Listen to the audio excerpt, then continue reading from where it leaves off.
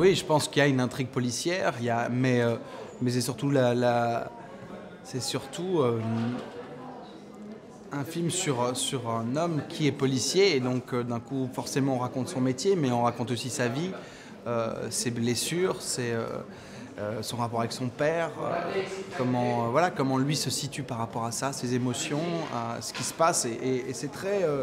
c'est marrant parce que j'ai rencontré beaucoup de policiers pour, pour, justement la préparation du, rôle et, du film. Et, euh, et quand je parlais du film et de, ce que par quoi passait le personnage, c'était très réaliste. Alors parlait énormément.